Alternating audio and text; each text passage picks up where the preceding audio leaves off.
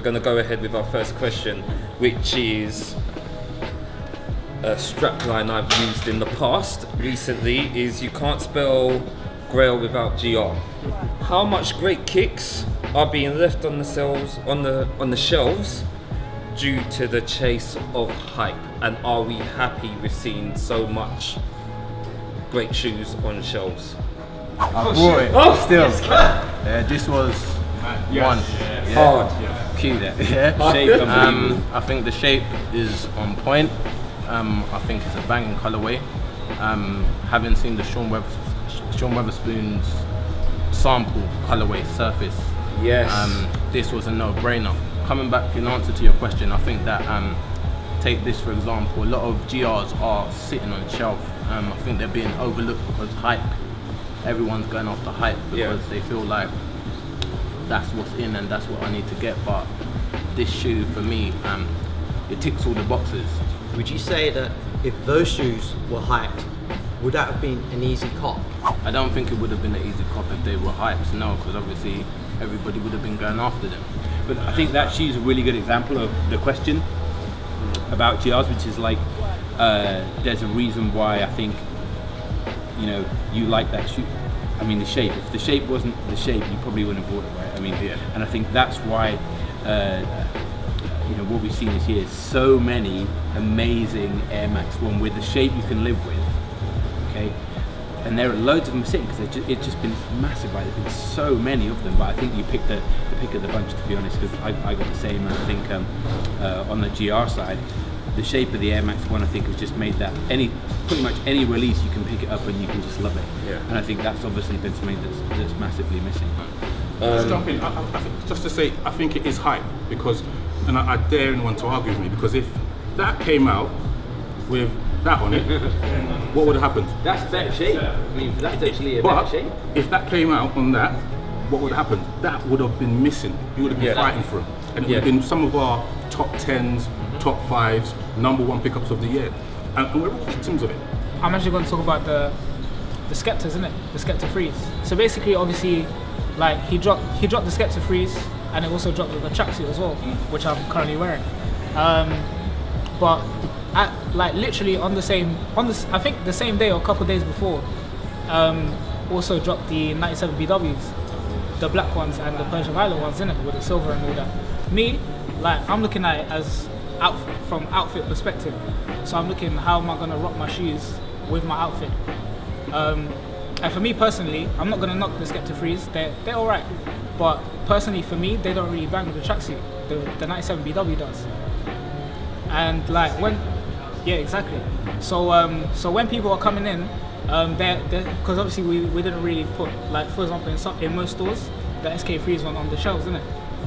Um, so when they start seeing 97 BWs and then they see the tracksuit, they're like, oh, are these the SK3s? Yeah. And then and then you're kind of forced you're kind of forced to think about it. And like for me, I work in retail, so I'm just like, no, these aren't the SK3s. And they're like, oh, like why not? Like why are these not why are these not them? And and you're just like, well, these aren't them, innit? And, and well, they, they, it's it's not that innit? And and it's one of them ones where like because you've now said these aren't the SK Freeze, they leave it on the shelf and they go. They're waiting for the SK Freeze because the name attached to it, like everything behind it, they, want that and not the other thing.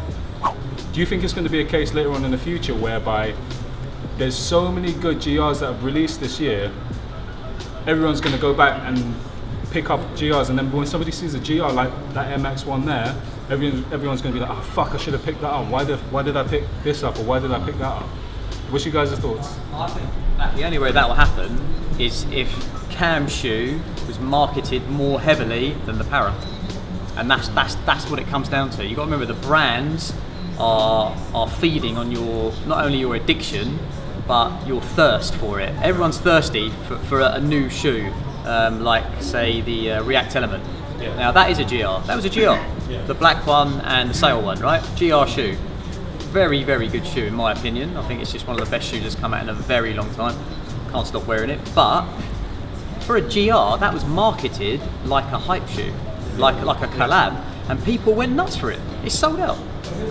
in regards to time is a massive factor in regards to this now like what we've seen in a lot of us know, there are a lot of GRs from back in the day that are now very sought after. The price has risen on something that's like a JD exclusive, like what you've got on your feet. Please, this is a plug to you. Talk about your shoe and what other brands can we think of that have a GR or something that wasn't highly sought after in the past that now is you see it and it's like oh my gosh I wish I could find that shoe. Well, these took me about five, six years to find. Shout out Mark Watson, thank you for those. Um, it's just something different. Nike had their like Mayflies and stuff like that then from 2005, and it was just the fact that they made something which was designed purely for running in the summer and wet conditions, so they would dry, your feet could breathe. It's a super lightweight shoe, super comfy. Last, where I say that, but they're unfortunately starting to come a little bit unglued at the moment. But I think it's even now, everyone's looking for older Air Max ones that, like pre 2008, when that shape was beautiful. It's something which is more desirable and harder to find than any any of the hype stuff now. I mean, even Parra, like you were saying, I've been a massive Parra fan for a long time, and it's just going back to saying like the, the chlorophylls and stuff were easier to find. They sat there. Parra wasn't such a big artist then as well. Now over the last 10, 15 years, he's just in huge galleries doing stuff for larger stuff. So it's it's hard to say with grails and collaborations which is going to sell and which isn't. It's all to do with personal taste and, and what's actually going to well. And now I'm older and I can actually afford more stuff, which I couldn't when I was a kid. I can now go back and try and find those things which I really wanted as a kid. And it's yeah, it's with all the hype that's going on, it's actually easier to cop stuff that you wanted, which is older. It may not last as long, but it's it's nostalgia as well. I think. Do you think the brands are bothered or concerned that we're, well, I say we, we all are chasing after hype shoes in the place of GRs that have just been left on the shelf? Do they really care at all? I think one of the perfect people to answer that is Mark over there. Obviously, you would have seen how it was back then, and now you can see how it is now. So we know that, you know, obviously you've seen it firsthand how the market has changed. What are your thoughts on the question? it's it's just different the way that shoes are marketed now. Um, back when I was at Nike Town with Emilio, you know, Jordans would come in. Uh, you'd get an initial wave of people that were waiting on them that would come in, buy them, sit, talk with you about them, and then they would sit on the shelf. And often they would then I end up on the sale rack. So I'll, I'll buy one on release day, beat that, and then pick it up again on the sell rack and, and keep that on ice for later. So yeah, these are like my second pair. The first pair I beat, and these, uh, you know, I just pulled out of the box today, and I've got the receipt in there, and it's forty-two pound. I feel like brands nowadays, they're kind of, I don't know, they're kind of, they're kind of realizing that I'm just, I'm gonna use this vague term, like old heads, like they're starting to realize, they're starting to realize their worth in the game. Like I'll, I'll use Mark as, as an example, um, because obviously you said you bought, you bought your J's on release date, and then you didn't buy another pair straight away. You waited until it hit sales normally some brands some brands don't really care about that anymore like they literally want to they want to get a shoe out they want to bang it out they want to get quick buck like they want to do it like so they get like the easiest the easiest cash them out as quick as possible. They're, they're not really paying attention to like people like mark who are who like buy the shoe and then they wait until like hit sales or something because they, they can't afford to wait that long. To them they lose they lose out they lose out on the money. Like Lonsdale's like stay consistent at like under twenty pound shoe, but they do so well in Europe because it's not a capital city. So they they sell like off the charts. They're still selling to like the Eastern Europeans or like people outside major cities because it's affordable. So they get they they sell units mm. as opposed to in, like in in London where it's such a hype to have like a name brand or like such a, la- a label of any sorts. Even still though, you'll have like a JD exclusive or something like that, which is still an access point for different people. So if you're feeling that you can't get a limited shoe, you can still get something which is limited or, or, or feeling exclusive for a lower price range that you might be getting with a collaboration or something like that as well.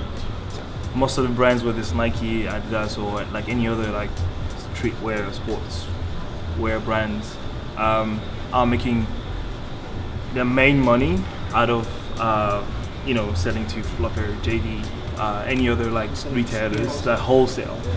That's like I don't know, like two thirds of the money they're gonna make like over a year. And then it's like obviously the stuff that they're selling through like you know their website or like stores or whatever. I think the whole like JR like Grail like conversation it's al- it's almost like doesn't really it's not a real conversation because we're talking to different like demographics and different type of consumer. Like to go back to to you for example, it's like like you know exactly what you want, you know exactly what you're after. Like you know the type of shoes that you want. Like it's like, really specific, but like you want in like a thousand like consumer. Like there's gonna be like a part of the you know like population is gonna go after hype, another part is gonna go after JR because that's what they can afford, and then it's gonna be like most of us that are gonna go like find that specific shoe, the stuff that we like, I just want to get um, Ashley in, uh, see his his um, his uh, thoughts on on the subject. Just because I know Ashley seems to get a lot of hype, luckily, but also as well, it's not just Nike. He gets a broad range of brands. I think obviously it's important to, you know, yeah, Nike uh, they're churning out all of the hype, but I know he'll get bits that, that you get the under undercover hype as well. I just want to hear what Ashley has to say on the. Uh, Yeah. Well, I think a part of that is I've just always ventured out and liked other brands. I've never stuck to just Nike. When I was a kid, it was all Nike because that's all everybody liked, kind of thing. But as I got older, I noticed that if I'm missing out on a shoe, I actually saw like a Saucony or an Asics. It's actually quite fire. Actually doing dope collabs as well. So I figured try them out, and since I tried them out, I love them as well. And the good thing about them is not a lot of people, especially in this country anyway, I don't know if other countries is different, but not a lot of people are into them as much. So if there is a hype shoe that is like in the Saucony community is a hype shoe, I can get it easier than other ones. So you actually find like this pair, you can find them on the shelves probably in Offspring right now or any other store to pick them up. But I got them straight away and I was gassed to get them straight away. Some people would probably wait and say like, oh, it's probably going to be on sale in like four or five months or whatever and wait for it. But I'm not a chancer, so I'm going to go for it as soon as I can. Might be a mug in the end, but if I want it, I'm going to go for it. I think. everything we're saying is interesting because um, I've been working with some fashion retail brands for work, and what we realize is there are many different segments that brands will try and basically service. Pretty much what you were saying, Laurie. Um, so what we like, what we would fit into, we're like the niche, right? We're the, or some of us anyway, are the guys who have a particular silhouette that we go for all the time, and that's you. But you're not really the person they're looking for, because when they're talking about okay, we don't want to market a shoe, they're trying to get as many. They want a bigger bucket than that bucket because it's a niche bucket. So that's why we now have stuff like fast fashion, which is just like, how can we produce something that people get and it's gone and that's it. You miss it and that's it. So when we have the hype that's driving the awareness and the relevance, yeah, everyone knows Nike, but Travis Scott, Drake, or whoever else keeps them relevant for where we are right now. And that works for Nike, but then we have other brands, which is like we were saying, um, I'm gonna say it wrongly, Saucony and Asics, um, where they had their hype and they've died down, but that's pretty good also. Um, I think I said in the last chat, every year for every year for Christmas, when my missus asks me what do I want, I always point to Asics or Saucony shoes because I know there's shoes that came coming out during the year that I couldn't afford to get the Nike shoe that I wanted and that shoe. I'm just like, okay, can you get me that? Because I know it'll be on a sale rack and end or something, right? So that's how it works. You just have to kind of pick and. But for the brands, it's not that they don't care. They need to make their money. They need to be relevant, but at the same time, they need to serve their base. Their actual base is the guy who goes into like the guys who are buying the monarchs and burning them. Those guys, that's their base. Believe it or not, that's their base because they're buying cheap shoes or cheaper shoes, and they're buying more of it than we are buying, you know, 200 quid shoes or 150 or paying res- resale for like 300 quid, you know, that sort of thing. So yeah. And on that note, we're going for a break. Thank you.